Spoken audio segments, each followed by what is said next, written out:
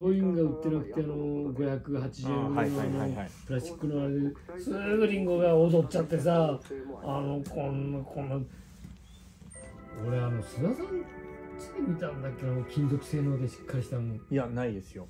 あもうどっから見たんだよ。あれよく試食販売行く時にあれでも行くともう歯触りが悪くて舌触りと歯触りが悪くてダメなんですよね。やっぱり手で剥くのが。あそうなんだ。ただ俺なんかさ剥けねえじゃん。あでリンゴのジャム作る時に本当にあれねあの持たねえんだよあのあれが。あのカインズホームで買ってくるあのプラスチックのみんな踊っちゃって。もう大きいリンゴなんかもう踊っちゃってダメなんだよ、あリンゴの皮むきだからあのまあキュウリなんかの皮むきをこうモーターにモーターっていうか減速機のあれにガッてさしてあのビューって向いてるねあのあの干し柿を専門に作ってる人がだからキュウリのキュウリの皮むきならね安いもんね。うん干し柿専門の人はな何でやってるの？きゅうりの。だから要するに柿を頑丈なそのモーターに減速機がついててそれでグッてこうあのグラインダーみたいなやつですか？そうそうそうそう。それにただか柿を刺してあとは柿にあのキュウリの皮むきピューって当てるってい。うのあーピューって向けるから。あてめえで皮むき器を持って。うんそうそうそうそうはあ。逆の発想だ。うん、で、ま俺もその減速機じゃなくてあのインパクトで作ったんだよインパクトほらゆゆっくり回せるし。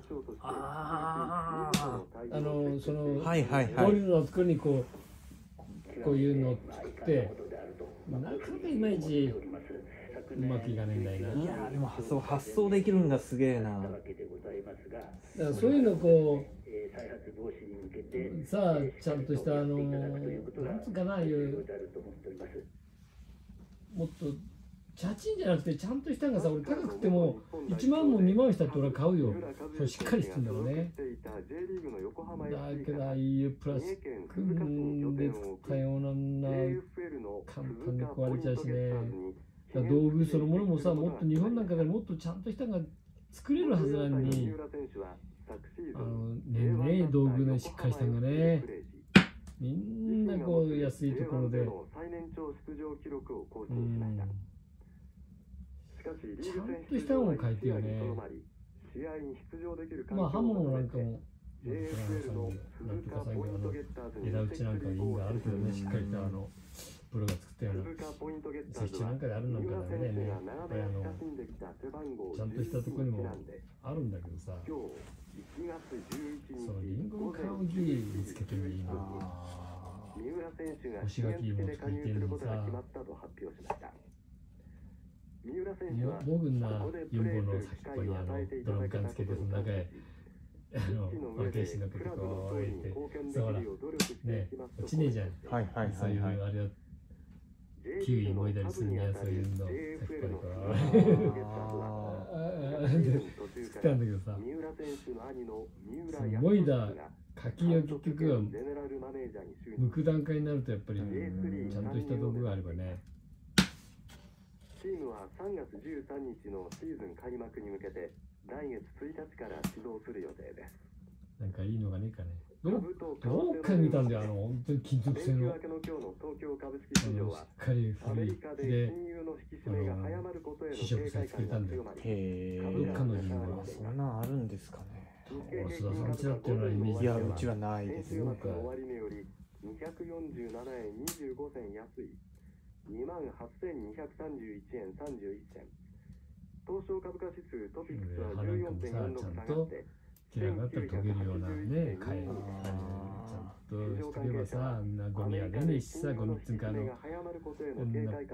ラスチックなんかもうすぐゴミになっちゃうよ。そうですね。もっこりちゃんだか。らそうですね。小売りや鉄道などの銘柄を中心に売り注文が強まっていると話しています。リンゴ屋さんなんか因果ねえ東かい。京外国為替市場の円相場は現在ドルに対しては先週末に比べて出るんかな。円高ドル安の1ドル115円もうプラスチックのしかわかんないですよね。知らないですよね。ユーロに対しては24銭円高まあプラスチックのだって1ユーロちゃんと130円丈夫なんだらいいけどさ。77銭となっています。いいの書いてたってねえんだもんね種類がね。ないですねでは続いて関東地方のリンゴ屋さんに聞けばどっかに東京都プロ仕様みたいなのがあるんかなの被害想定をちょっと調べてみます10年ぶりに見直しますこの間に起きた大規模災害の教訓や高齢化が進んだことなどを踏まえた新たな想定にでも毎日パン食ってんだからジャム使使えます。もんねおうあこれだあの少し苦みがあるけどうまいね。あの柚子うん。ああ柚子そうなんですねね。苦味が。まああれが大人の味っていう感じおよそ1万人に上るとしている首都直下地震のだけどあの今さ柚子の木のあるうちがあるけど使ってる風がねえうちがいっぱいあないなたわわになってないね今の時期もいでないですねもう今は燃えてなければあれだよね落としたんだよそのままね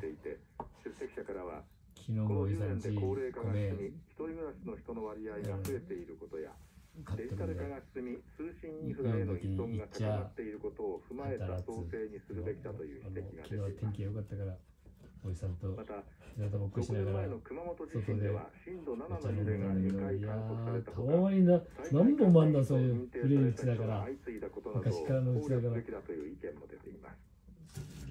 本当にあの柚子をねうまくねもっと。柚子は9月頃取って柚子胡椒にすると真っ赤うまいですよ。柚子胡椒。そうどうやるんだっけな。う。ちのおふくろが作ってたんだよな。でも9月になるとリンゴで忙しいじゃないですかだから黄色くなったらダメであの青い段階のやつをどうにやるんだんべも持ってくるか。あ多分まだ冷蔵庫に減ってたら持ってくれちょっと言っ何につけてもうまいんですよ。何じゃあ粉末にするの。いやあーんとねすってる感じの生姜をすったような感じのイメージでそこに胡椒が何か入胡椒が入ってるんだけどああの福岡とかのにあるんですよ。だからこんなちっちゃい瓶で普通に買うと500円ぐらいするんですよ。うん。こんなちっちゃい何に入れてもうまいんですよね。だからもうたっぷり何でも入れ入れるんですよ。だってす。げえ逃げんじゃねえいやに苦くないです。ん。なんていう味なんなんで。なんつやいいまあ柑橘だだから大体あの柚子のか辛いやーし胡椒の辛さっていうのかな。柚子のその柑橘のその酸味の感じとその辛いのが混じ合わさってってのはほら小さいうちからでかくなっても価値は同じだなんてよく言うじゃん。あー。こんなちっちさマリモみてえなあれだけでこうさはいはいはいすげえうどんではいはい大好きなんだけどさ子供の時は柚子なんて全然見る気もしなかったけどそういう味が分かる年にななるとほら嫌いだったうどんが好きになるじゃん。いや本当ですよね。